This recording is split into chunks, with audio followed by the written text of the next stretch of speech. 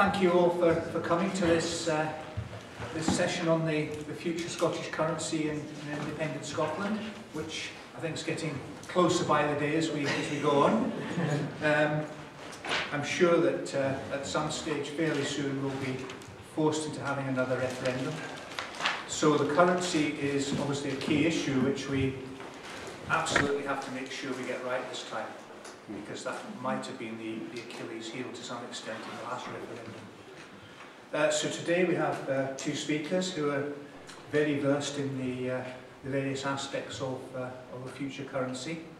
We have uh, George Kerevan, who is an MP, and Paul Wheelhouse, a member of the Scottish Government, who is obviously an MSP. Uh, so to start with, we'll, we'll have George giving us the, the Westminster perspective. George.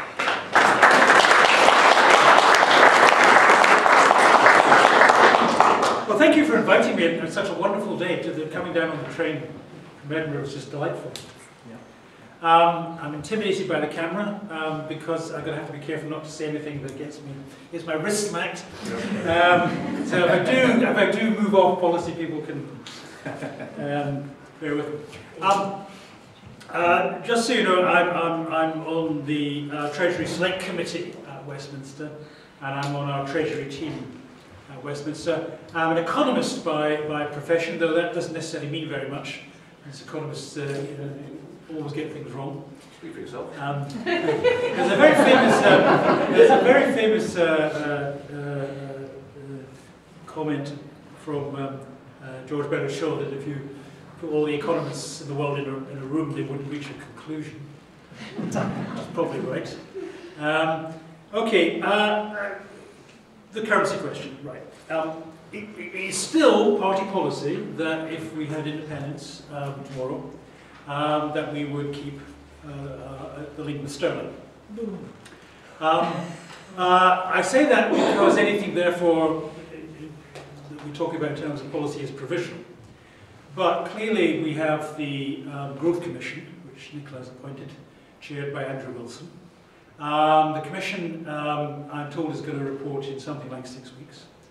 Uh, it is looking at the whole issue of what currency would be best um, post-independence and in the context of, of post-Brexit for the UK, the rest of the UK. Um, and I think there is um, a general sympathy, I think it would be fair to say, amongst members of the Commission um, that we should consider shifting policy towards having um, a, a separate Scottish currency. Um, when the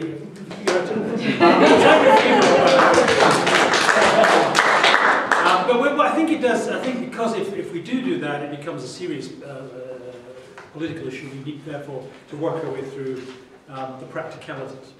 Um, when the Commission reports um, its findings, because it's a party commission, uh, and the government commission, it will go to Nicola, uh, and Nicola will consider. And I suspect that um, she'll look at it in the light of um, uh, when Brexit is triggered, um, the nature of the, the discussions between government and Scottish government, or the likelihood of, of any kind of practical resolution of our of our, uh, our demand that um, Scotland stays within the single market. So uh, it may not be that um, Nicola decides to announce that we're shifting policy um, um, particularly soon. But I think once the Commission publishes its, uh, its findings, it will certainly now be in the public domain that we will be discussing it. Uh, I know the press, media uh, are championing a bit to get, to get involved. Um, uh, because um, the, the link with the pound is still official policy, I think we should remember why, why we adopted that stance. Because if we're going to move away from it for whatever practical, whatever good, good reason, um, it's, it's, still, it's, it's still a powerful argument. And the, really, the, the nutshell of the argument was that, that retaining the ballot, retaining sterling, was the simple way to do things. It parked a lot of problems where we set up a new state and a new country. Um, in particular, it parked the issue of what contracts, um, uh, uh, what, what, currency contracts are done on, and uh, what uh, currency pensions are, are paid in. Uh, and um, if we do move to having uh, arguing for a separate Scottish country, those, those issues will still remain very live. In particular, I think, um, the pension issue. I'll give you one practical example there. Um, if Scotland had been independent this last spring, if we voted yes in 14, um, uh, pensions would have been, the legacy pensions, state pensions, would still have been being paid by HM government for those who had retired before independence. Now, so they would be paid at the rate of sterling, and then if we'd been independent, had our own currency last year, um, uh, people would have converted their sterling pensions into new Scottish pounds, or whatever we deemed to call them. Now, of course, Brexit came along in June, and the value of sterling nosedived by something like 15%. And that means that in foreign currency terms, suddenly people are poorer. So if you had been a Scottish pensioner getting a pension, a legacy pension from England, uh, from your old job, whatever it was, um, and if uh, the pound had dropped by 15% and we were on a, a, a, a Scottish pound, um, then in fact your pension would be worth 15% less in Scottish terms. And we'd be having a big fight going on, a big argument, and be, would be one of the big political issues. So having the pound common to the two countries was not necessarily in itself a bad thing. It solved certain political problems. Unfortunately, it raised other political problems in the, in the very short run for the, for the referendum. Of course, it put the whole, um, whole political initiative into the hands of the Yes campaign and the British Treasury, who could then say, well, you want to keep the pound, we're not going to let you, etc., etc., etc. So we lost the political initiative, and I think that was very bad and never recovered that. Um, also, if you keep sterling, you therefore keep in the medium to long term all the problems of sterling. And since Brexit, as we know, sterling has a big problem. It's nosedived. And the latest estimates I've seen from various um, bank analysts um, is that uh, it could go down another, another, another, another wallop. Um, it may, it, given what happens, the currencies go up and down, depends on a whole raft of factors, could bounce around. Um, but there, I've seen some, some, some analysts thinking that it could go down from $1.20 or wherever it is at the moment to $1.10. Um, so it's not gone away. The problems have gone, not gone away. And it's not just that you don't see things, you your holidays cost more. Um, the drop in the value of sterling means that all our imports are more expensive, and that's starting to feed through. And I think the political issue that's going to dominate for the next year, year and a half is going to be a big spike in inflation. Um, it's going to go to at least um, 3% annual inflation on the, on the um, um CPI figure. I think we could be looking at 5 to 6, 7% on the old retail price index. And at that point, it really eats into living standards. Um, and people are going to feel the pinch. We are going to be poorer because of what's happened to sterling. So I think for political reasons and for, for um, economic reasons post-Brexit, there's a very good uh, reason we should have our own currency. So what I want to move on to quickly, and um, uh, it's such a complex issue, I won't cover everything, and I'm sure um, that, uh, that we'll have we'll, we'll, we'll, get, we'll have more to look at in your questions.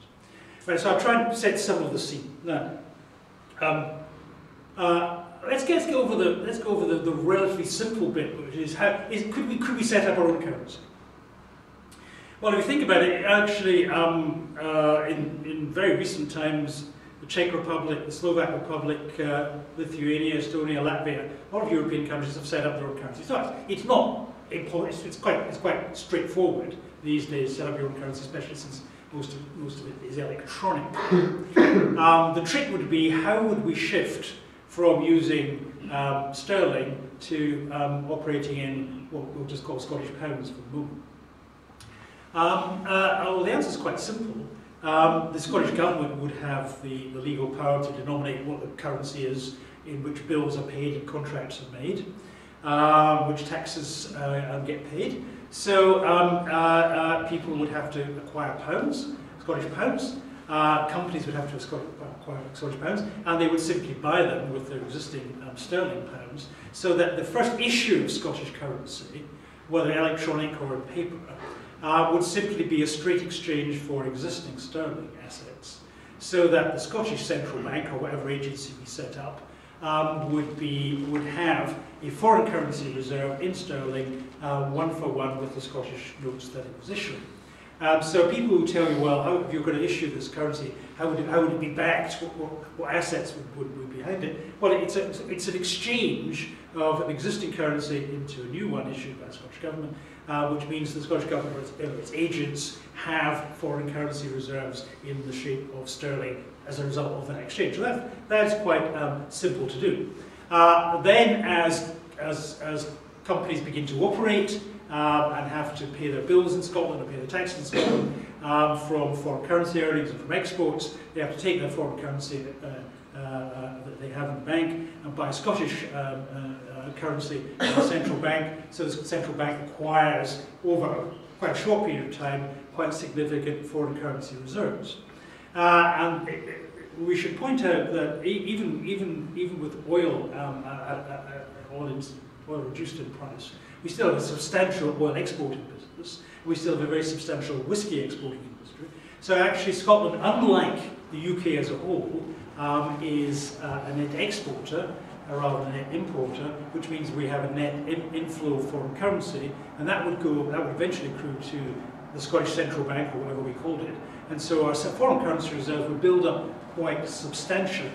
Um, in fact, you could invest those foreign currency reserves, um, so you've essentially got um, uh, as you, as you work along um, your own sovereign wealth fund. Um, now, um, you would have to, the Scottish Government would have to have sufficient foreign currency reserves um, to provide backing to its own currency and to deal with any foreign exchange issues, which I'll come on to in a second. Um, but essentially, um, uh, because we are an existing economy, uh, quite a serious um, uh, player in the world, in the world economy, we have a, we have a currency, all we'd be doing would be transferring one currency, denominating it to another, we would automatically get the foreign exchange reserves, would, make, would give the economy back. So it's not difficult technically to set up our own currency. There are issues, of course, about speed and so on, um, but it's, it's, perfectly, it's perfectly possible to do. Um, the main issue, I think, that we would have to confront um, in uh, determining our own currency is the Achilles heel, what's the relationship to sterling? That doesn't go away. Um, we would have a variety of choices. We could make the current Scottish currency, um, let's call it Scottish pound, we could make it one-to-one -one with sterling. Uh, that would make it very simple for ancient people like me to do calculations in their head about the exchange rate. Um, but it would make it, it would make it easier uh, in dealing with legacy issues such as pensions being paid to Scots um, from uh, the UK Treasury. Uh, and it would make it easier to deal with um, contracts uh, because um, if we move to a new currency we have to decide what legally when, you pay your contract you settle up or when you have a mortgage or whatever what's the currency defined in and if we have it in Scottish pounds but contracts were previously contracted in sterling then we have issues so making there's there's a strong case for having um, the Scottish pound at value one-to-one -one with um, what I will now call the English pound, which it is, always has been really. Um, so um, I'm, I suspect that the Growth Commission will come up with that as um, its preferred option. But it remains a political uh, issue that we have to talk through as a party, whether, we go for a Scottish currency, we want to at par with sterling. That has great political advantages. It, it solves the pension problem, for instance. Um, uh, pensions, a lot of pensions, legacy pensions from the UK government and private pensions um, would be, um, would be uh, denominated in sterling. So if we keep a one-to-one -one ratio between the Scottish pound and the English pound, then the crossover is quite easy to calculate. If we don't have a single a, a, a, a currency at par, at same value, if currencies can flex up and down between the Scottish pound and, and, and the English pound, then there will be pension issues. Now, I don't think those issues are insuperable. My worry is if we keep the pound, um, Scottish pound, um, at, at, face value one to one with the English pound, we've bought in again to the inflexibility of the, the keeping the common pound anyway. Um, and um, it's worse now, to my mind, because of the uncertainties that have been introduced by Brexit. Um, uh, the UK, the reason, one of the reasons the pound, UK, the sterling, has fallen 15% is because the, because the financial markets know that uh, there's deep uncertainty about how the UK is going to negotiate trade agreements, is going to survive in the doggy dog world uh, of WTO rules and a hard Brexit. Um, so if the markets feel that way, then um, you know uh, we should be we should take it wrong in arm. Um, but um, the short-term politics of fighting a referendum, where the other side can say, well, if you have Scottish pound, um, the value of pensions paid, legacy pensions, is going to be very, very uncertain, which it would be, um, and that might reinforce the kind of Project Fear Mark, Mark II uh, during the referendum period, because clearly we lost, the pen, we lost a lot of the pension vote on the question, on the issue of pensions. So, I mean, we need to talk that one I think it is a reasonable argument on the other side that uh, a flexible Scottish pound allows us uh, to deal with the ups and downs of, a, of an uncertain global market um, that it would allow us to adjust our price level. And the Scottish economy, and I, I'm, I'm going to be very frank here, the Scottish economy has not been performing well in the last 18 months. It's partly not, not particularly our fault. I think the Scottish government has done wonders in dealing with some of the issues that hit the Scottish economy, such as the, such as the, the, the, um, contraction in the oil industry.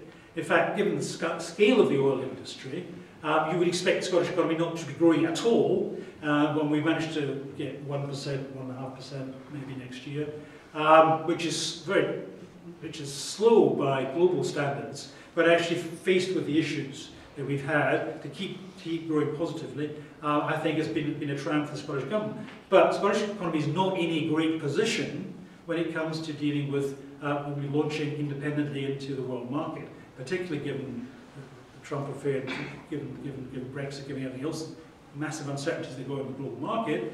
So I can see, as an economist, really great advantages for having a flexible currency that would allow us to adjust our price and productivity levels against the world in order to get a boost. But it comes with a political price, we do that, which is the hump of getting over the pension argument. Now, there might be ways around that.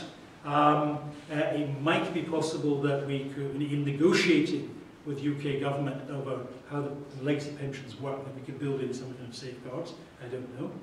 Um, it might be that we could offer other things as a quid pro quo.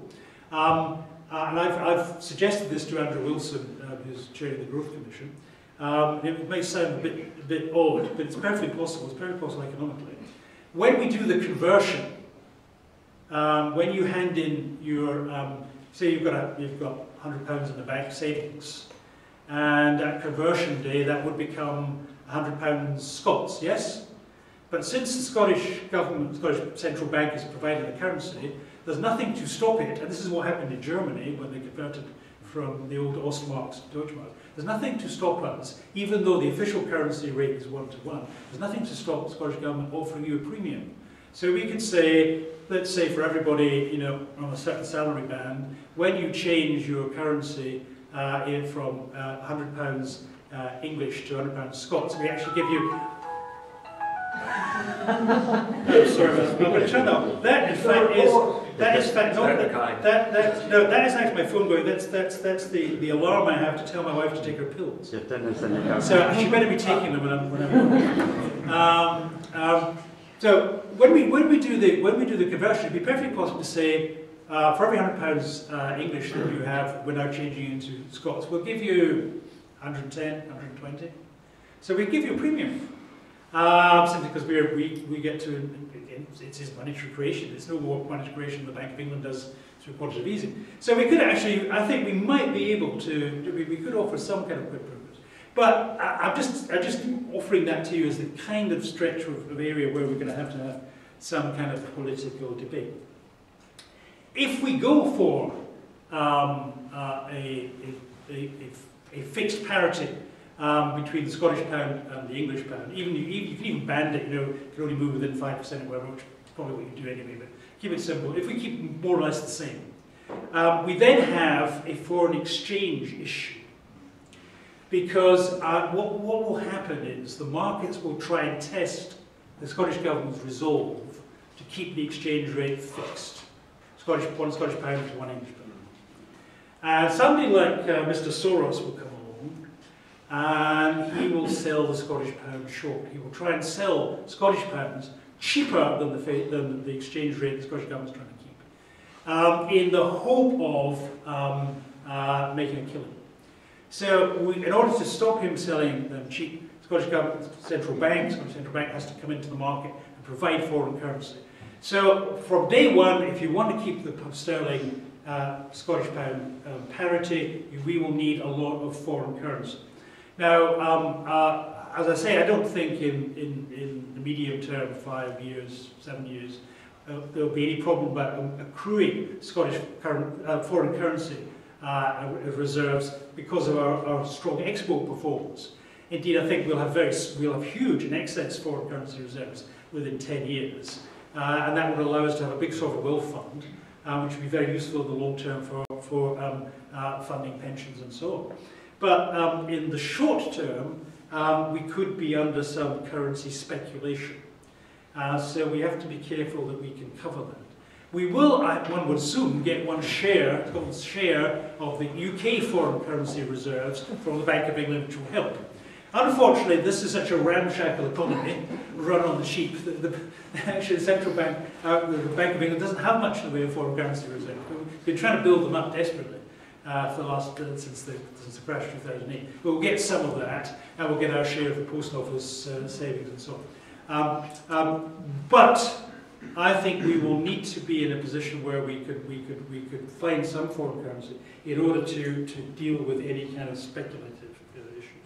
Uh, so that's another thing we have to, to, to build um, uh, I know this is a little bit technical, but it all intertwines, and I think it's as well that we, we, we are clear on the technical arguments before we end up in a debate. It's just we're going to have a Scottish currency because what's going to come at us from all sides is uh, people trying to pick holes in, in the argument. Um, one of the great advantages of having our own currency is, and this is maybe one of the best arguments for it, is the Scottish Government, when it borrows, will issue currency in Scottish pounds or whatever.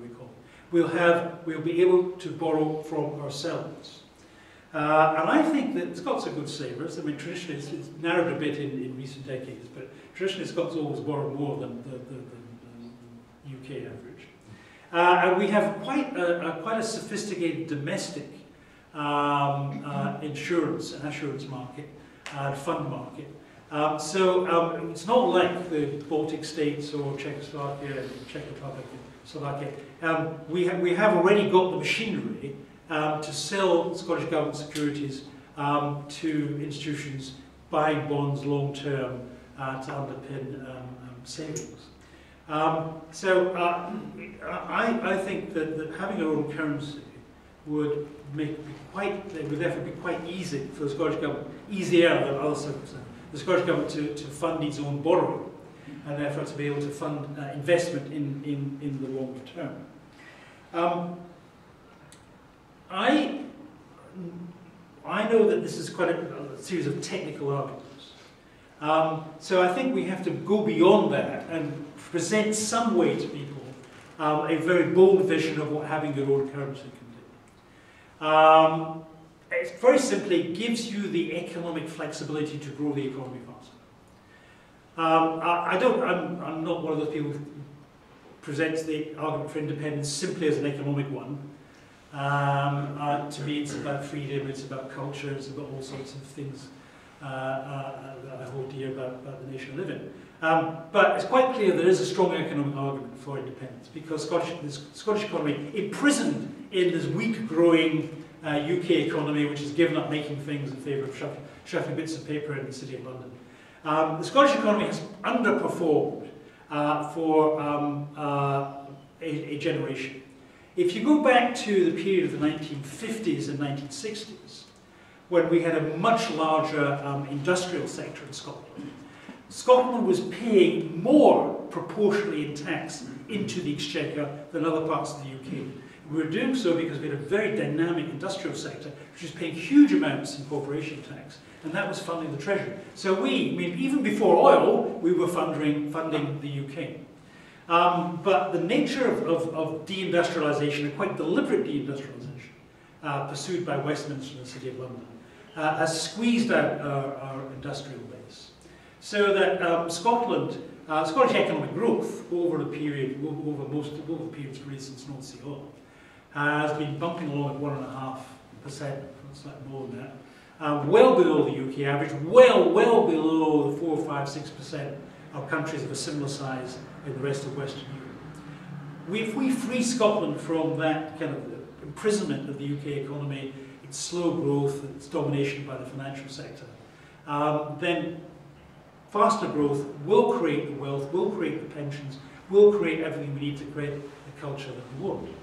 Um, uh, to do that, we need flexibility in our economy. We need to break away from the straitjacket of UK economic policy um, which has normally been um, higher interest rates than the rest of Europe, which have dampened down economic growth.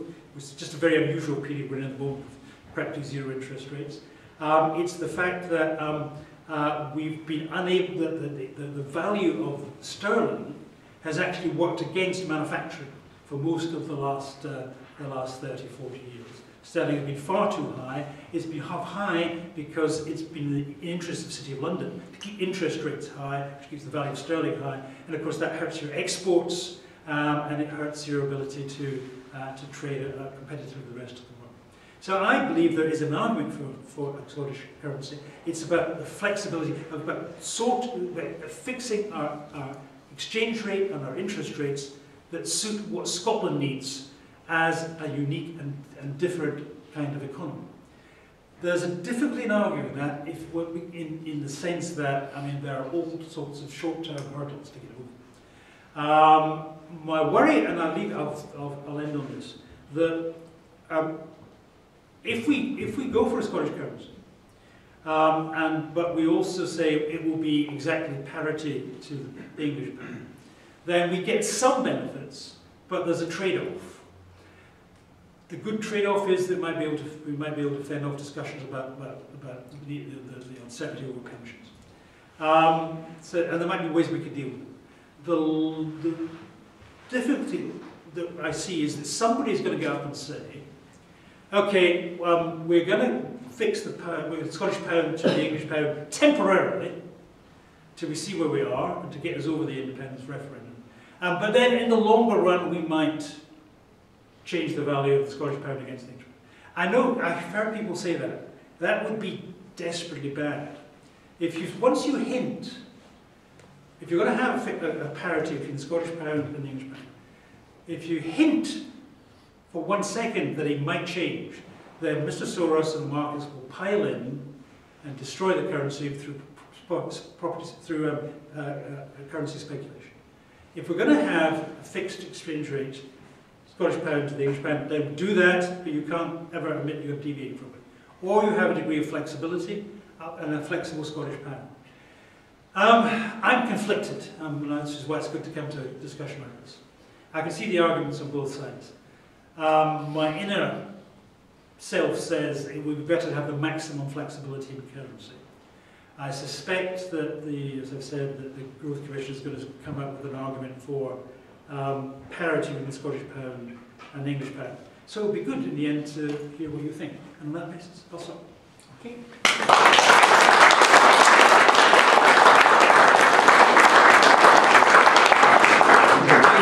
Many, many thanks for George uh, for, for giving us those those views. A lot to be thinking about there, and uh, we'll take questions at the end.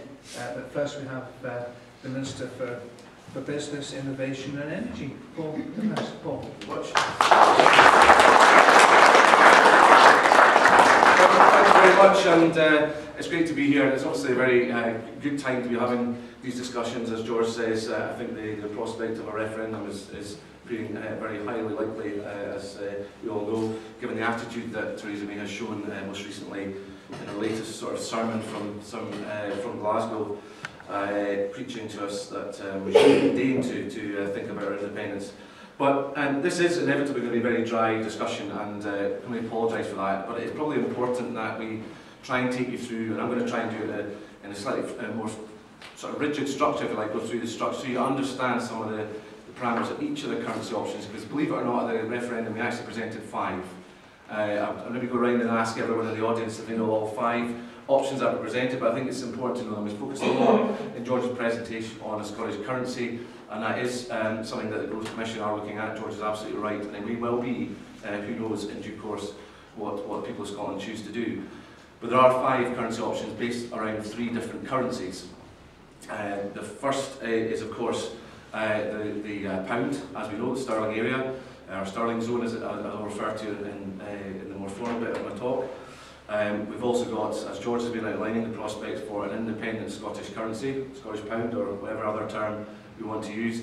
And the third, of course, that was presented in the white paper that was put to the people uh, in 2014 was around uh, the use of the euro. So I'll try and go through each of them so you can see the merits and dismerits of each of them, and hopefully that'll help you when you're on the doorsteps with some of the knowledge that you can counter uh, some of the points that are being made by the opposition.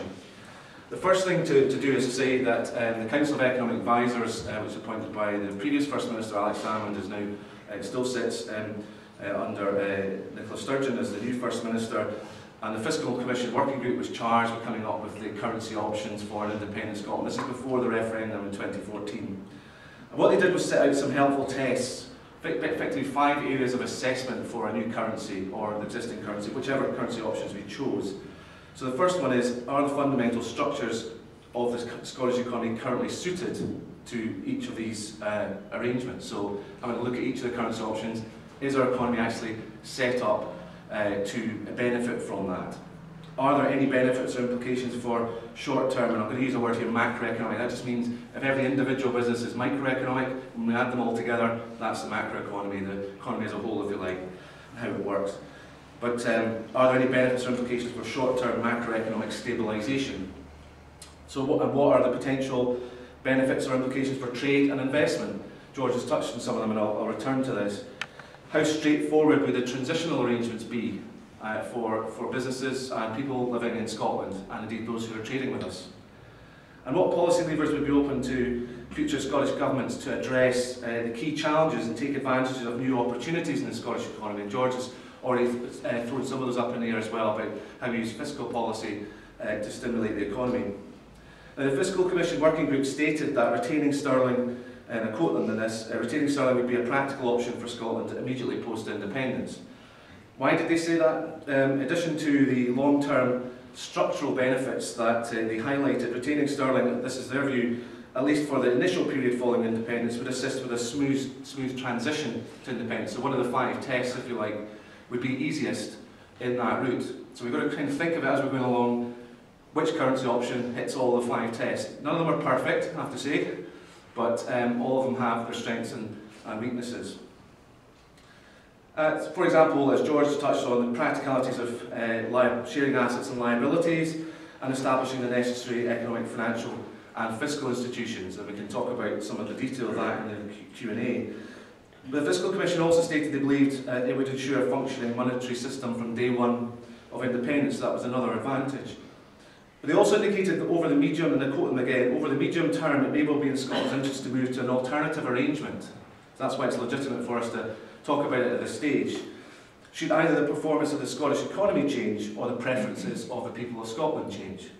Because we have to remember that at the heart of all of this, this is a matter for the people of Scotland to decide and for uh, our country to choose its own future.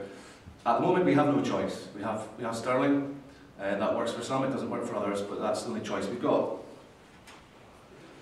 Of course, they also made the point that people of Scotland may also find it uh, to be in the interest to retain sterling in the medium to long term, if that appears to be uh, the best way forward. The key point, again, as I say, would be that would be their choice, that would be the people of Scotland's choice. Now, uh, as I say, the paper assessed three different currency options, uh, sterling, euro and a new Sc Scottish currency. They indicated there are two likely avenues through which sterling uh, could be uh, remain the currency of an independent Scotland. The first was the one we focused on as our kind of core argument in the white paper, and that was to have a formal arrangement through a monetary union, uh, which is basically the, an agreement to uh, share a currency and manage that currency the benefit of more than one uh, member state. In this case, it would be rest of UK and Scotland. Uh, and, or secondly, informally through a process termed, sorry, this is a very ugly word, sterlingisation. Uh, and that's effectively using sterling but without all the, all the official trappings going around that. Um, and without the say-so of UK ministers. It was something that was established during the referendum and it's confirmed subsequently that Scotland could have used sterling uh, without the permission of the UK ministers and the Bank of England.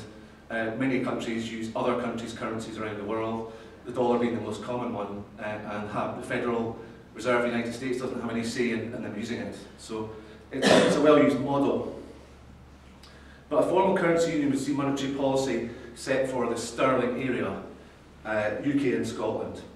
It would require a range of options to cover governance and oversight of monetary framework, including uh, a supranational, just a, a bank which is um, uh, like a European Central Bank, as opposed to your own national central bank. Uh, and that would be, and we would also have a national central bank for both Scotland and, of course, England, or the rest of the UK.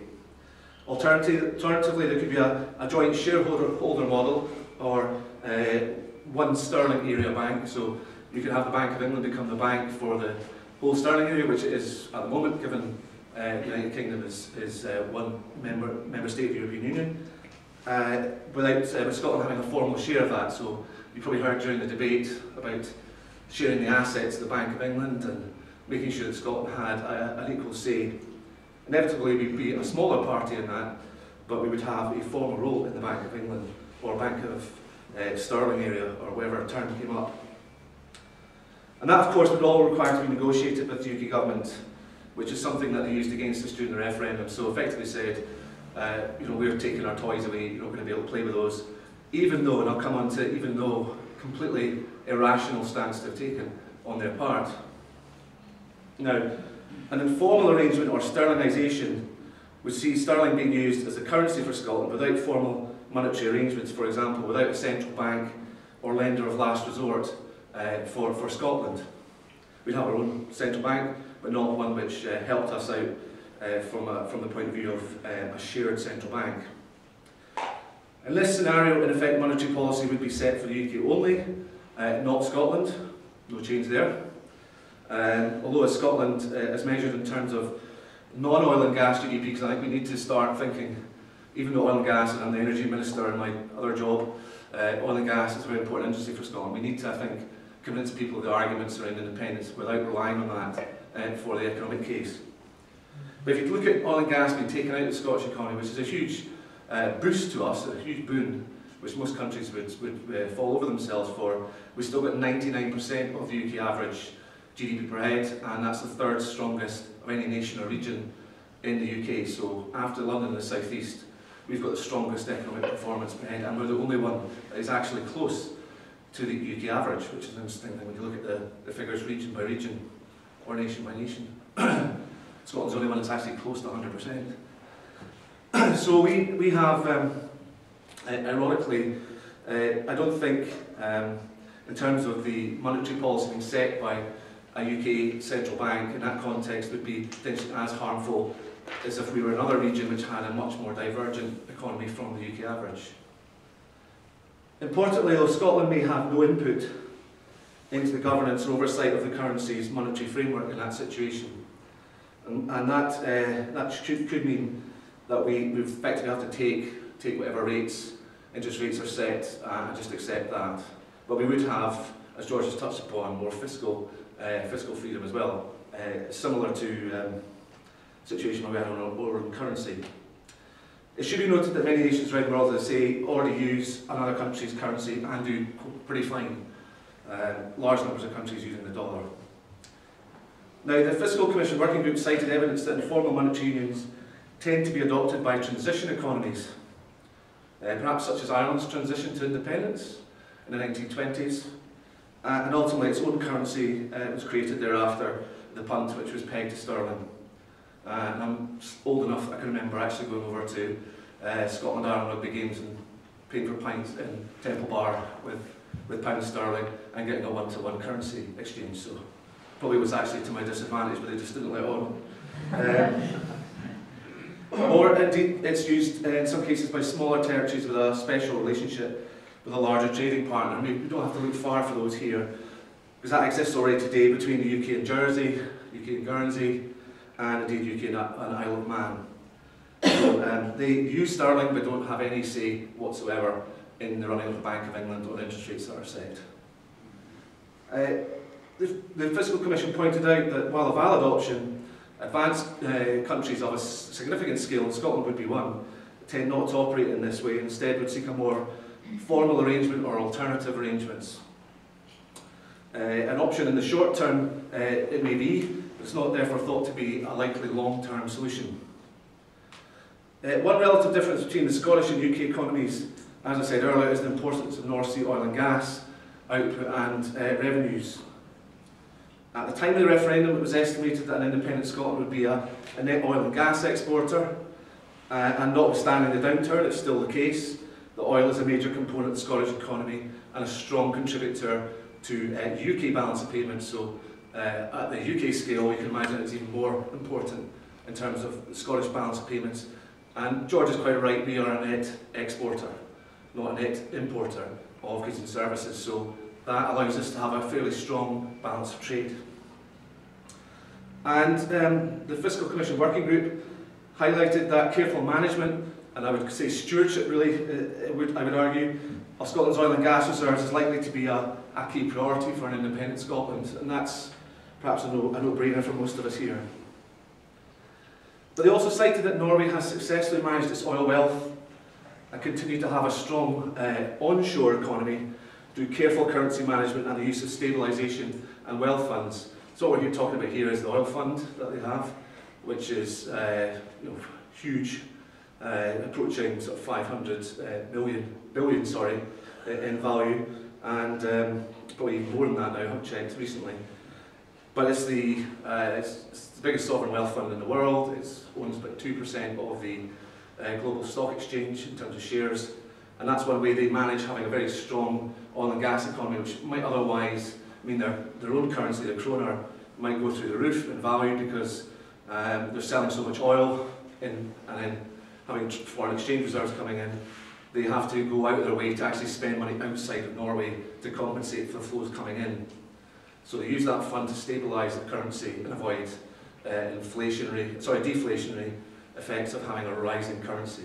The UK's got the opposite problem, of course, with a currency that's falling through the floor. In the context of currency options, retaining sterling would therefore provide a helpful mechanism to manage the macroeconomic implications of oil and gas production because it's a bigger currency, it'd be less vulnerable to shifts in price of oil and gas. And we have to acknowledge, if we're dealing with this issue, that is one of the advantages of having a larger currency. But equally, that could be the case for the euro as well. um, there particularly, uh, you know, uh, the implication of balance of payments uh, on a small currency, if we didn't have uh, the ability through sharing a currency uh, to, to do anything about uh, allowing our, our currency exchange rate to float or, or to rise and fall with the value of oil and gas, it would mean it might have um, some perverse effects. It's therefore something that the Fiscal Commission Working Group explained would be a practical advantage of being a part of a larger currency union, such as sterling or the Eurozone. Uh, commodity currency volatility would be diluted by being part of a bigger area. It doesn't mean you have to be in the UK, of course, uh, you just use the currency. And for the UK, the balance of payments uh, for the sterling area, if not the rest of the UK as a country, would continue to benefit from Scotland's oil and gas revenues. Therefore, there's a very uh, clear argument from a UK perspective as to why they want Scotland to remain within the currency area, the sterling zone. With up to 20 billion barrels of oil equivalent still ready to be extracted, currently at a reduced but thankfully rising price of $54 to $57 per barrel. So that's a lot of money and a lot of exchange in terms of currencies. Regardless of the tax receipts you get for oil and gas, that's huge amounts of oil being sold in dollars and having an impact on the, the, the exchange rate of the pound. Of course, Jim Rogers, who's the co-founder of Quantum Fund with George Soros, who's, who's been mentioned by George, the world's most famous currency speculator who, speculator who brought down the pound in Black Friday uh, during John Major's time, um, has already speculated the value of the pound could go under one dollar uh, per, per pound uh, within three to four years if Scotland was outside the sterling area. So such is the, the power of Scotland's economy in helping the UK balance of payments, if the UK doesn't allow us into the sterling area, they'll see the value of the pound plummet. And uh, if they're already predicting that, you can bet that that's the kind of speculative activity they're probably trying and engage in pretty The, soon. the after market started building in uh, worries about Scotland leaving last week. See, and So- we're talking about. So if Scotland does leave, and this is what he said, if Scotland, quote unquote here, if Scotland leaves, they're going to take their oil with them, right?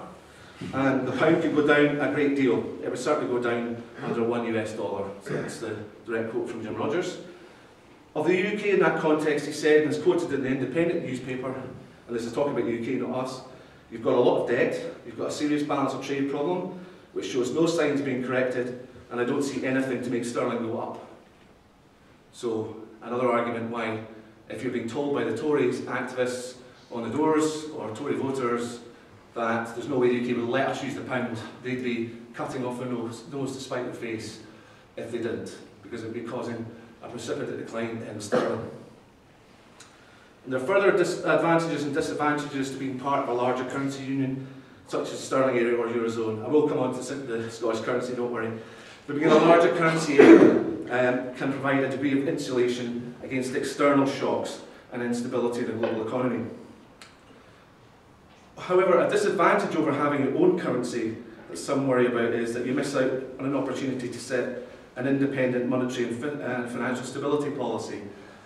If within a formal currency area the two economies were to diverge economically, so if we're still part of a sterling area, we're an independent country, as we know we want to embark on a, a path to grow our economy, and we start to diverge from the UK economy, then the interest rates could start to be actually unhelpful to our efforts. So the more we diverge from the norm for the UK, uh, through maybe uh, more tailored policies for Scotland, the more harmful a one-size-fits-all uh, policy starts to become. And so, uh, due to differing policies, monetary policy may not be set optimally for Scotland in that context, and that could be, could be harmful.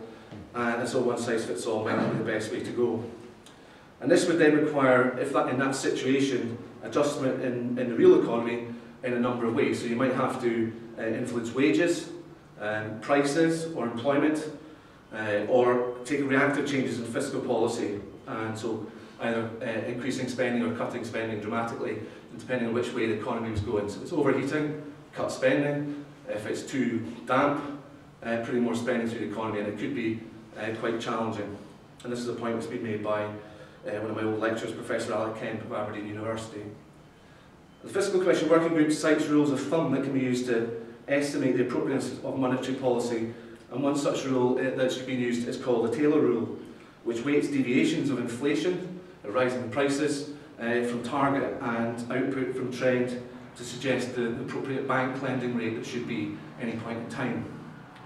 And they looked at the, the Taylor Rule uh, bank rate estimates for the UK and for Scotland, and the limited data that were available suggested little historical divergence in price indicators between Scotland and the UK, with the exception of London, which tends to have huge asset price bubbles and go way out of kilter with every other region or nation of the UK, and therefore have to get reined back in. And the Taylor Rule uh, analysis suggests that over the last two decades, Scotland and the UK would have followed very similar paths of monetary policy given the same monetary objectives. So if the Tories are saying, well, we can't possibly have you in the monetary, uh, monetary union with the rest of the UK because your economy would, would drag us to one direction or another, the evidence suggests the contrary. In the last two decades, we'd actually have very similar outcomes in terms of monetary policy if it had it been set separately for Scotland and separately for the rest of the UK. So um, that's, that sort of strengthens our argument if we are trying to at least give ourselves the option of retaining sterling. And the, our opponents often say they would impose fiscal conditions in Scotland and tell us how much we could spend. And this is a misrepresentation of uh, a serious point. The Fiscal Commission Working Group's first report set out it, it's, indeed common uh, for countries in monetary union to reach an agreement, an agreement, not an imposition or one big boy telling a little boy what to do. It's an agreement uh, on the broad parameters for managing fiscal policy. For example, a range of values for net borrowing, uh, annual borrowing uh, each year, or the total debt that the country has uh, uh, carrying on its uh, accounts. And that's with a view to providing fi- financial stability. But within that uh, on overall envelope, there would be freedom to tailor tax and spending priorities as each country wanted, uh, to, to meet the needs and policy priorities of the Scottish people and the challenges or indeed opportunities facing the Scottish economy, uh, such as maybe supporting more support for renewables or other growth sectors like uh, life sciences or other areas.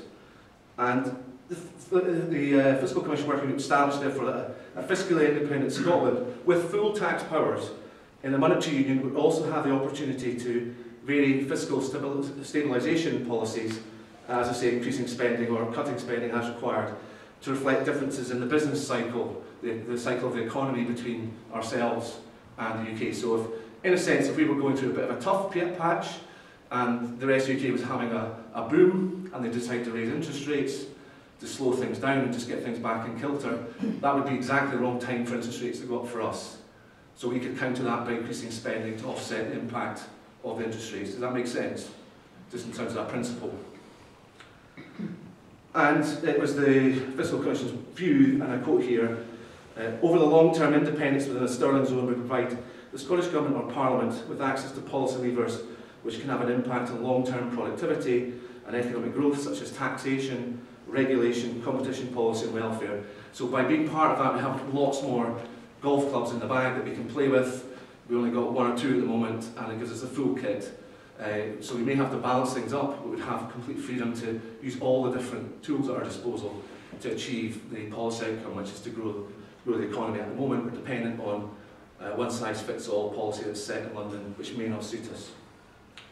And that, hopefully, they said, uh, would bring us a step change in the level of economic responsibility, because it takes, a, takes us in a different area. We're setting policy in areas we don't currently have, and in my humble opinion, a huge opportunity for the economy as well. So if anyone feels that operating within such boundaries would be any worse uh, than we face right now, and this is the point that's made to us by the Tories in particular, they need their heads felt, frankly, because we have little or no influence at all at the moment over fiscal, uh, fiscal position. Even after the new tax powers that Scottish Parliament has taken on, we can only set uh, or control around 40% of revenues that are raised from Scotland. So we, we don't even have the majority of tax powers yet in Scotland, uh, despite being the, apparently the most powerful devolved parliament in the world, which is absolutely hooey. But, um, and of course, successive UK governments have already set interest rates in response to asset price bubbles in the southeast of England, rather than to support economic growth in the north, in Scotland. And we've got the famous Eddie George quote we can rely on, where he said that uh, unemployment in the north was a price worth paying to control inflation in the southeast. Caused a ruckus at the time, he was just being honest. That was the policy framework he was given by the UK government at the time, and he was putting it into action. It wasn't his choice, but that's what he was told to do, and that's what he did. So, uh, you know, that just puts into perspective, though, how the monetary policy of the UK already works. And while we have charmingly called Bank of England agents that come around places like Scotland to ask businesses their views on interest rate policy, we don't have a seat at the table. So, in my view, anything where we have a formal relationship with that monetary union is progress on what we've got now. Now, turning to the other options, I'll do these in brief because George has covered the, the, the single current, uh, Scottish currency uh, you know, pretty fully. But the euro, and Scotland could, if remaining in the EU, join the euro, of course. There's no compulsion, this is really important because we're often told this, if we want to be in the EU, that we have to join the euro. That's false. Absolutely false. Europe is, if anything, very pragmatic, and they put in place lots of fudges that can allow member states not to join the euro. Otherwise, Sweden would be in the euro now, other countries like Denmark would be in the euro. They're not. And the reason why they're not, because to become part of the eurozone, you have to join something called European Exchange Rate Mechanism, or ERM, and that's voluntary. And uh, you also have to have met the convergence criteria before you can join the euro, and we're not convergent with uh, those criteria. We have a deficit that's too big, and our economy is out of cycle with, or more out of cycle than it is with you, the EU than it is with the rest of the UK. So we wouldn't be a natural fit for the euro at this moment in time. So while it might be And I don't want to overstate it, but it might be something that people of Scotland decide at some point in the future that they want to do. There's no requirement to join the Euro if we join the EU. And that's something that the Tories in particular are very keen to try and stress to our disadvantage, but it's not true. And the evidence speaks for itself, because we would not meet the Maastricht criteria, and it's in our choice as to whether we join the ERM. That's how Sweden has avoided joining the Euro, because they've just not joined the ERM. You have to be in it for a period of years before you can get into the Eurozone. So it's, it's been set up to provide an automatic kind of fudge, if you like, or get out for those member states that didn't want to be part of that experiment. Now, if we're ever to seek to join the Eurozone currency, it would only be because there'd have to be an economic advantage in doing so for Scotland, and we made that very clear back in 2014. And even then, the people of Scotland would have a choice, a referendum, to tell us whether that's what they wanted to do. So there's plenty of safeguards in there for those who are nervous about that. And any such event, monetary policy would be overseen by the European Central Bank, or the ECB, and delivered by a Central Bank of Scotland. And we would have a seat on the European Central Bank, something the UK government will not promise us with, with sterling. So we already know if we were to join that, we would have a formal role. So again, you've got more visibility, more transparency about the relationship you'd have with that currency. Scotland would have formal representation, as I say, and through participation in the ECB, our central bankers could be able to contribute to the monetary decisions, monetary policy decisions uh, being made across the Eurozone area.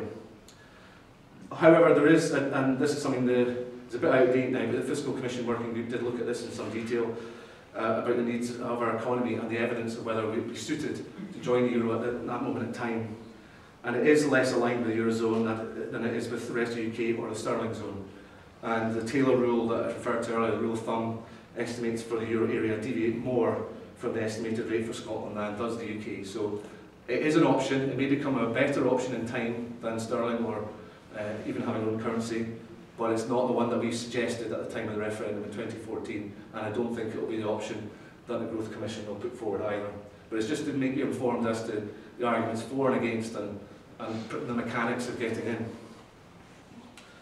Now, the average deviation for the euro area is not 0.7 percentage points. You need to worry about the scale, but it's not 0.3 for Scotland as opposed to the UK, so it's quite a clear difference. And um, you know, zero being the best, one being the worst. So um, we're in that sort of scale. Does it mean that we could not join the euro at the moment? Uh, no. Uh, we'd obviously have to uh, converge and meet the, the economic criteria that are set out. But it does suggest that the timing would not be necessarily right. Our economies are not sufficient alignment, uh, but of course it could be in the future. But by implication, Scotland would operate within the euro instead of uh, a pound exchange rate, and collectively the EU is Scotland's largest international trading partner uh, accounting for around 45% of international exports in 2010, which is the figures the Fiscal Commission used, uh, and it continues to be in the most recent figures that were published um, a couple of months back.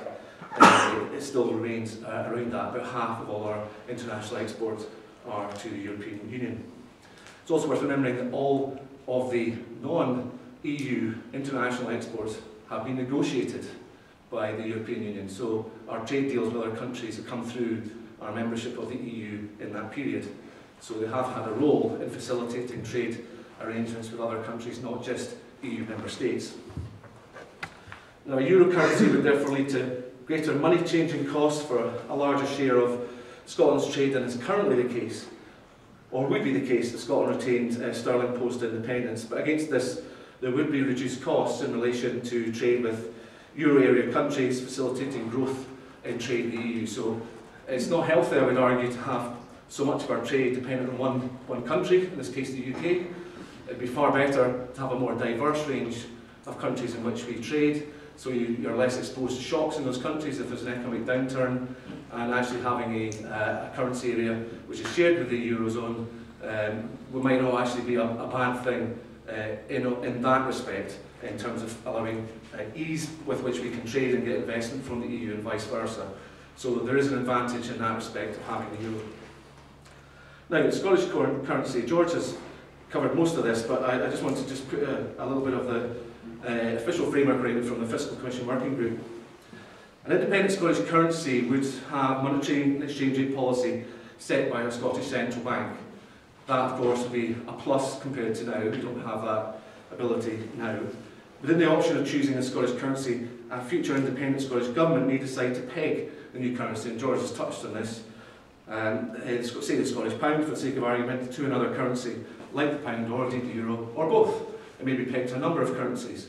Uh, it may not just be a one, a one uh, hit wonder in that sense.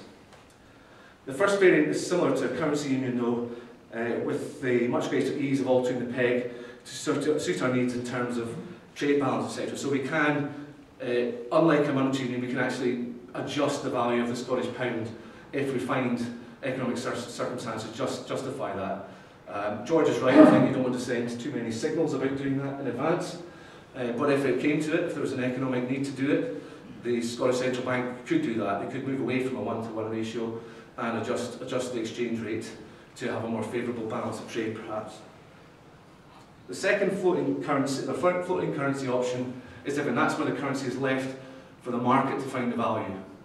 So it depends on the strength of your economy, uh, the strength of your financial framework, the confidence in your government, the confidence in your uh, economic well-being as a country, and your trade balance and various other factors. So it's, it's uh, if you like, it's more objective evaluation of what the value of your currency is.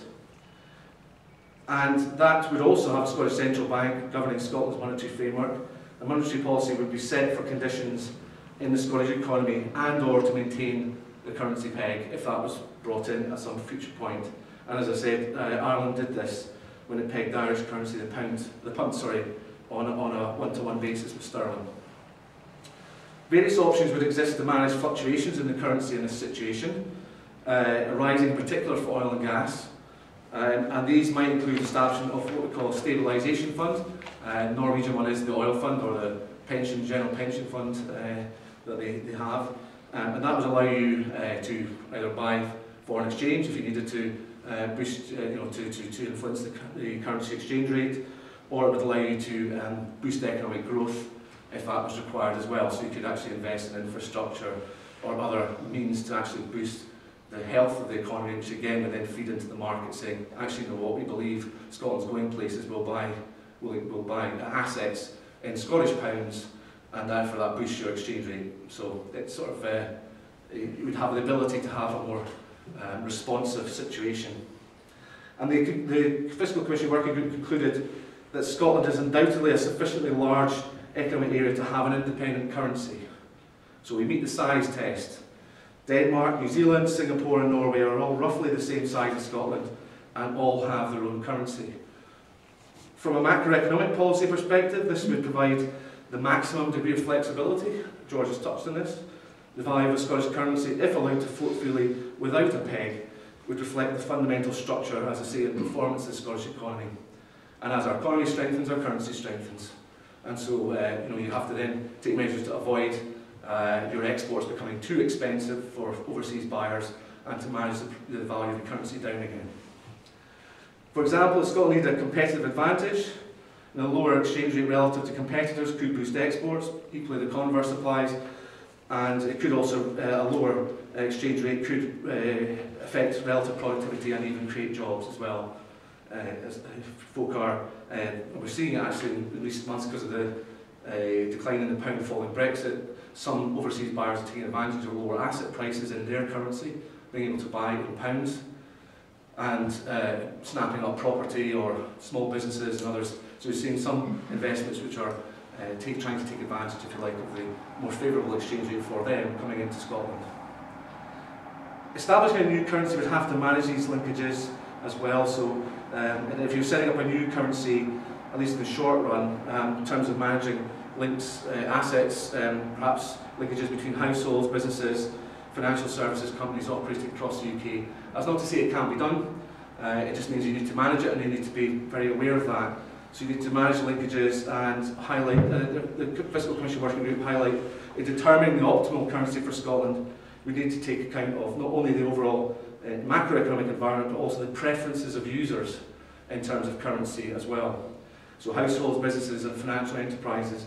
And in certain circumstances, and at least for a short period of time, it's possible that a system of dual currencies uh, could emerge. So uh, with sterling still used as the medium of exchange, alongside a Scottish currency. So if assets are being exchanged cross-border, pension funds, these sort of issues, sterling might be used for that, but you might also have your own currency for day-to-day payments uh, and to support the economy as a whole. But anyway, uh, moving to any new currency would involve transitional arrangements uh, and switching requires one-time costs of things like as mundane as reprinting price tags due to redenominating uh, denominating financial accounts and a period may involve um, businesses pricing in two different currencies for that time. Uh, so it may carry a, a degree of short-term adjustment until the new regime establishes credibility and I can't stress this strongly enough. If we do go down the route of having an independent currency of our own, we have to have absolutely watertight financial uh, prudence and economic uh, policies and be quite uh, averse to, to scaring horses, if I can put it that way, uh, because you don't want to risk capital, what they call capital flight, uh, large investors moving assets outside your country. Now, we've got sound economic policies, we've got ambitious plans for the future, and people believe in what we're getting into, so they believe that we're going to have a stronger economy in the future, then I think that's the risk of that is diminished. That's perhaps an argument for having a peg if we have our own currency as well, so people don't feel nervous about a decline in value of the currency, at least in that immediate period. Uh, but that's something I think the Growth Commission will look at in some detail, uh, given that many people involved in the Growth Commission have been uh, speaking to the financial services industry and various others over the last few months. So it's, it's really important that we, we don't you know, scare the horses, uh, if I can put it that way, uh, in terms of whatever currency we, we come to. And uh, George is right, and a really important issue, which is going into in some depth, is around building up foreign currency reserves. If we do have our own currency, we have to be able to defend that currency against speculators, and that may take some time.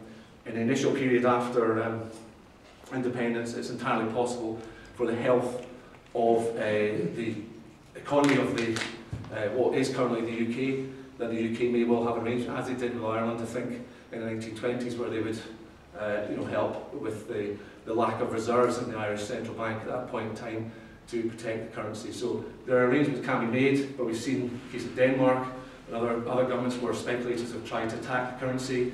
Um, one of the strengths of Europe has been they have defended that currency. So the Eurozone defended the kroner, and indeed the Bank of England defended the kroner, I believe, at that time. So collaboration across border to avoid speculators damaging our friends and neighbours' economies has been something that's been a positive out of what's been a pretty rough 10 years or so we've had in, in global economic times. And I'm conscious of time passing, so I'll wind up in a second. Uh, but I just wanted to sort of point out the, the work is all there. I've tried to touch on it in some, uh, to some degree, but uh, we can make sure you've got access to it. It is pretty dry stuff. Uh, apologies for that. Um, it's the nature of the beast. Uh, but there's lots of statistics and so forth that you might want to be able to, to quote that are in the Fiscal Commission Working Group paper. It's getting a little bit out of date, but the Growth Commission will hopefully bring that, that, that analysis up to date. Um, but the, I suppose the key point to take away from today is we may have gone into the referendum with uh, five currency options. Our opponents wanted to focus on one. And let's remember that. So they, there was a, a good argument on our part as well for defending that currency option, because I think it was the logical option for the times. But if it looks like the UK government isn't going to play ball, we're entirely legitimate to look at other options and uh, to make sure we have got as good a strong an argument for each of them as we possibly can be. But there are at least five currency options we've, we've had in 2015. They're still valid today, and indeed um, more valid in the sense that um, the Eurozone has strengthened since then, and the, uh, we're doing more detail around the Scottish currency, so perhaps we're in a stronger position to be able to talk about that in the future. But I just wanted to, to have confidence, if you like, that the, uh, there is, in each case, positives and negatives, um, but they uh, all offer something. So depending which option we have to go to, there is an advantage in each option of doing it, and we just need to manage the potential uh, downsides.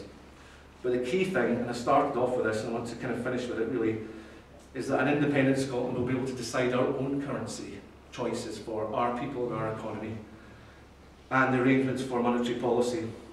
And uh, all of these options are valid. Uh, really interested to see what you guys think of them all. Um, obviously, be excited, excited to see what kind of work Andrew Wilson and the team at Growth Commission come up with, because that'd be really helpful to frame the debate. Um, but over to you. I want to see what you have to say. Thank you very much.